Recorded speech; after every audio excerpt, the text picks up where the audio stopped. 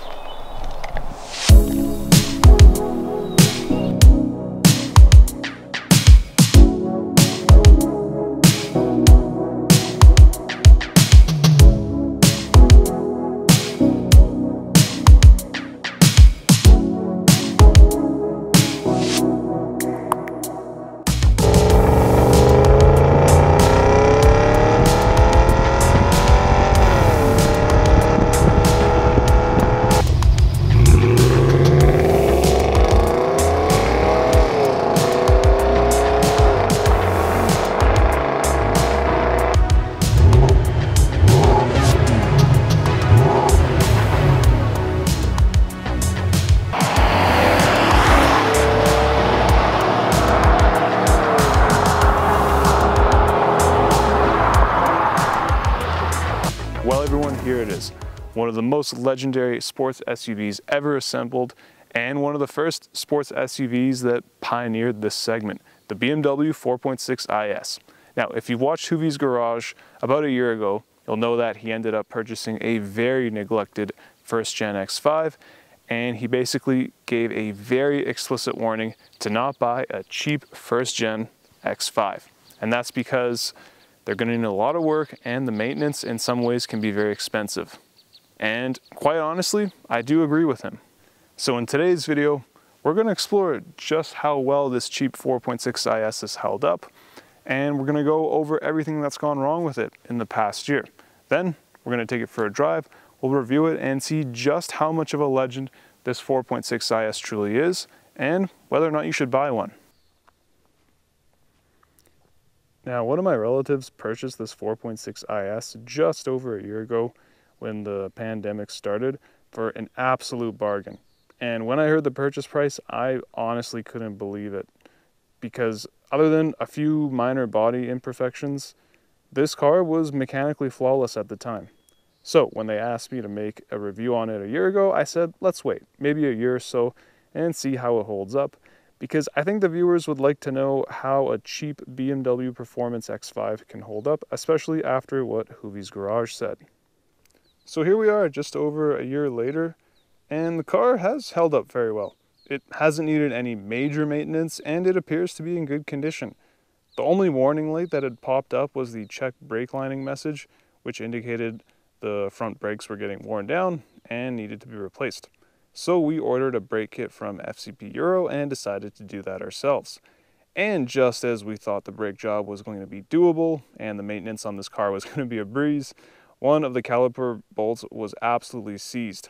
So after doing everything we could to get it out, we ended up stripping the bolt, and at that point it was clear we were going to need our mechanic's help.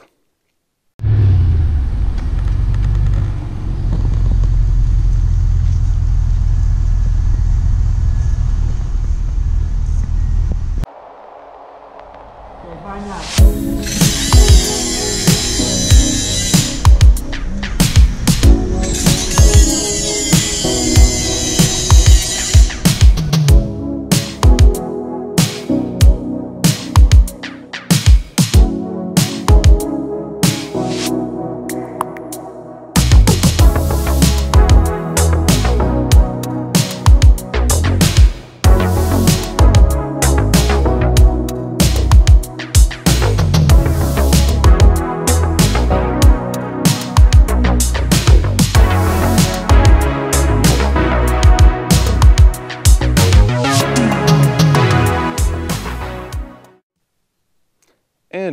just as that got sorted and I was about to make this video, well, let's just say it needed a tow back to Orion's because the starter motor failed.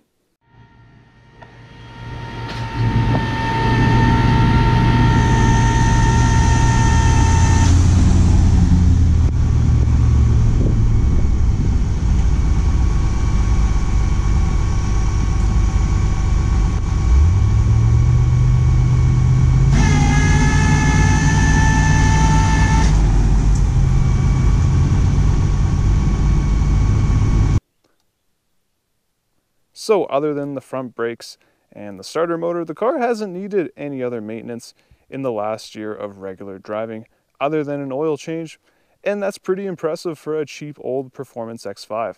I'll also make an additional video of fixing up this car. Anyways, let's take a tour of this X5 and then go for a drive. So, starting off with the exterior, there isn't really much to complain about the E53 body style, and it really shows that this car came from a time when BMW was making some of the most elegant yet sporty cars on the road. The 4.6 IS features a few special touches compared to the standard E53. You get the flared fenders and a body colored bumper at the front, and you get square exhaust tips and the body colored bumper at the rear.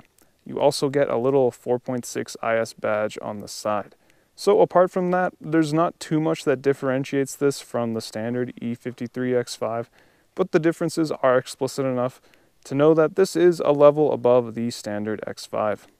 There are a few imperfections on the body of this X5, but overall there's no huge dents or any other substantial damage. You're also probably wondering about those ugly black wheels and how much of an eyesore they are. When the current owner bought this car, it did come with these Style 87 wheels that the 4.6 IS is normally equipped with. However, the tires on those Style 87s are a little bald. The Style 87s are 20 inch wheels that require 315s in the rear and 275s in the front, which is a decent amount of rubber. Here in Canada, big tires like that can get quite expensive, so what people do is they drive across the border and get tires in the US at a cheaper price. Given that the border is currently closed for non essential travel, these smaller tires and wheels will be used for the time being.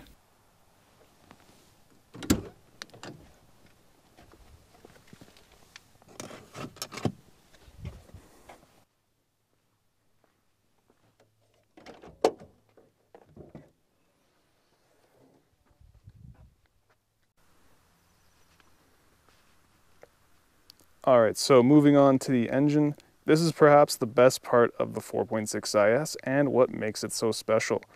Under the hood, we've got the M62 TU B46 V8, a naturally aspirated 4.6 liter V8 that BMW had at the time. Now, there are a lot of rumors about this engine, and some say that Alpina even produced it. I cannot confirm or deny this, but I do not believe that to be the case. Instead, it is believed that BMW and Alpina collaborated on this engine, but it was ultimately an Alpina design and BMW produced this design at their own factory. The stroke and bore was increased from 4.4 liters to 4.6 liters at the time to give more power, along with different pistons, cams, and stronger valve springs compared to the M62 V8. The Alpina cars that did get this motor, like the B10 V8, received cylinder heads that were ported and polished in the Alpina assembly line. However, the 4.6 IS did not receive this as BMW did not port and polish the heads on their assembly line for this engine. Again, this is all speculative since I read this info on online forums, so I cannot confirm or deny this.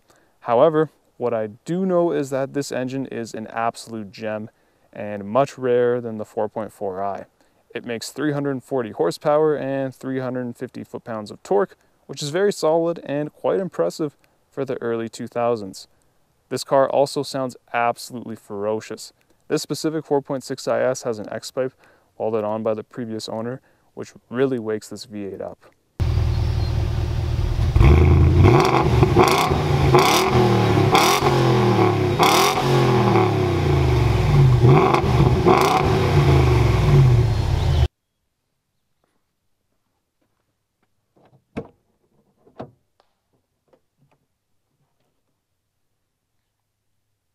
Stepping inside the interior, it's a very nice place to be, and this specific model has held up very well over the last 17 years.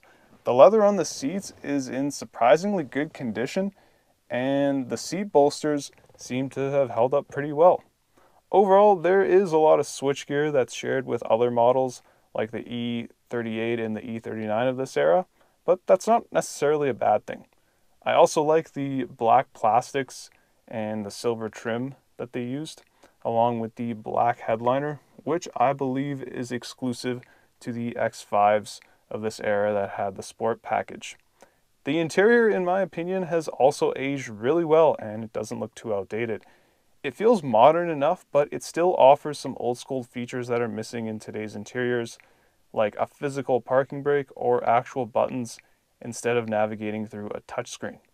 These late 90s, early 2000s interiors have a bad reputation when it comes to cheap plastics, but as long as the interior hasn't been aggressively used, then it should hold up. The highlights of this interior include the black leather sports seats up front, as they are really comfortable yet supportive and give you decent adjustability. You also get the gauge cluster from the E39 M5 with the adjustable red line and the oil temperature indicator, which looks fantastic and, in my opinion, probably one of the best gauge clusters ever made. And finally, the clamshell tailgate is very neat. There's not too many cons when it comes to this interior. Again, there are some things that have a tendency to fail, and that includes fading pixels, which is a common issue in BMWs of this era, and these pixels in the binnacle are beginning to fail. Anyways, let's take it for a drive.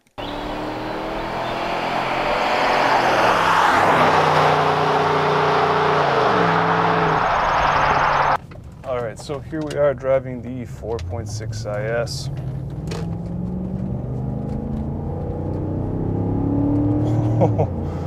oh man, this thing sounds so good. So if you've driven other BMWs of this era, like the E46 or the E39, then you're gonna find this 4.6 IS to give you a very welcoming driving experience. Like those other cars I mentioned, it's driver orientated and it offers you really good driving ergonomics when you wanna have, you know, a sportier feel to your drive. And this E53X5 was very pioneering when it came to SUVs being more user friendly in a sense and giving you a more sporty drive. And you can really feel that in this 4.6 IS. Now, I have to say that BMW did a fantastic job on how this 4.6 IS drives. And it really does offer you a good combination of sportiness and comfort. Now, up front, you get conventional mechanical struts, and in the rear, you get air suspension. And those two combine for an overall acceptable driving experience when it comes to your day-to-day routines. But keep in mind, it is a little bit on the stiffer side, but by no means is it harsh, nor will it crash over the bumps. But what you're gonna find that is that this X5, it handles really well considering its size and its age. And right now, when I drive currently in the twisties, this hydraulic steering has a really nice weight to it and it is giving me pretty decent feedback. And you are gonna be pleasantly surprised at how stable this 4.6 IS is in the corners. Now, one of the best parts about driving this 4.6 IS is the acceleration, and it is just such a treat to listen to that exhaust note. In fact, if I put it in manual mode, put it into second gear,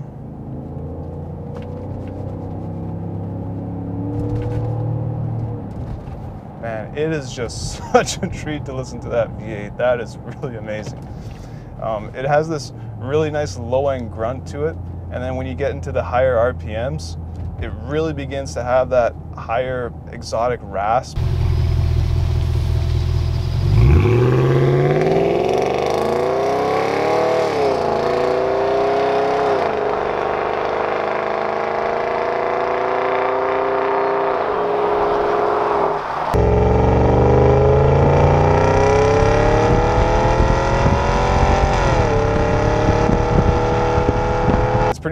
To the uh, S62 V8 and the E39 M5 when it gets into the higher RPMs. Now, this uh, 4.6 liter naturally aspirated V8 does offer you uh, some really decent low end torque, and it's overall a pretty quick engine. Now, it's by no means as fast as today's uh, modern sports SUVs, but it's no slouch either. This is a really decently powerful engine. Now, if you like driving this 4.6 IS and hearing that exhaust note, that is unfortunately going to cost you at the pump because the fuel economy on these 4.6 ISs are not the best. I've spoken to the owner about this, and if you drive it uh, on the highway conservatively, you can get 10 to 11 kilometers, sorry, 10 to 11 liters per 100 kilometers, which is fairly decent. But Where your fuel economy is not the best is in the city, and there you're probably going to get around 15 to 17 liters per 100 kilometers, depending on how much you like to accelerate at red lights.